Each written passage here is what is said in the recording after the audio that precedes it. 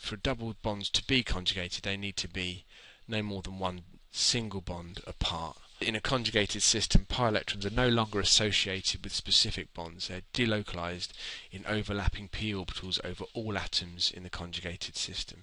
Each of the carbon atoms in this chain are sp2 hybridized. Therefore, they all have one of these unchanged p orbitals on them.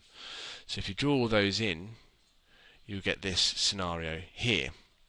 And I've highlighted in red where the double bonds are according to this diagram here. But then I talked about the fact that this p orbital here, which corresponds to the p orbital on this carbon, has equal opportunity to overlap with this orbital as it does with this. So the system is not as simple as a series of isolated double bonds because what you get is equal overlap of the electron density in all of these orbitals. So you can actually say that a conjugated pi system can be considered as one pi system in which there's orbital overlap all the way through.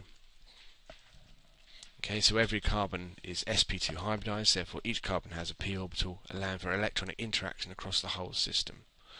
We compare that to a pair of double bonds that aren't conjugated, they have this sp3 hybridized carbon between them, and we can see that these two orbitals can overlap in a conventional double bond, as can these, but these two are too far away from each other to have this sideways overlap. So you don't extend this conjugated pi system through this chain because there's a sp3 hybridized carbon atom in the way.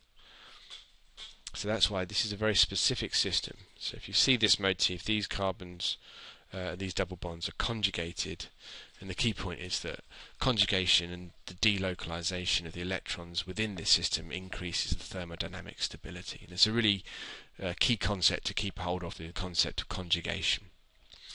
And then just to build on that even a little bit more, we went on to think about aromaticity. And I said that some cyclic molecules that contain conjugated double bonds have been found to be unusually stable compared to the other conjugated alkene systems. And this class of stabilized cyclic molecules are known as the arenes, or more commonly aromatic compounds. So there are some cyclic um, conjugated systems like this one that are even more stable than you would expect for a series of conjugated double bonds. The prototypical example is benzene here, which is found to be more stable than the hypothetical 135 cyclohexatriene by quite a lot, by 152 kilojoules per mole. So the stability that it was calculated this molecule would benefit from by having these three double bonds conjugated doesn't is actually uh, not enough compared to what we actually see for this molecule. There's an extra element of stability to this. Uh, and experiments have found the bond lengths for each of the six bonds in this ring are somewhere between a carbon-carbon single bond and a carbon-carbon double bond, and all the bond lengths are exactly the same. So we need to explain why this is the case, and it's aromaticity that explains this. These bonds are shared evenly over all six atoms in this ring in a circular pi system. And when you have a very specific set of uh, elements, you get aromaticity. The molecule has to be cyclic, like this. It has to have a number of pi electrons that fit Huckel's rule. You remember I said that in each double bond there's two pi electrons. So for this system there's one, two, three double bonds, therefore six pi electrons. And this does fit Huckel's rule because 6 minus 2 gives us 4 and therefore and 4 is obviously divisible by 4 so therefore n is 1 so 6 is a number that fits Huckel's rule.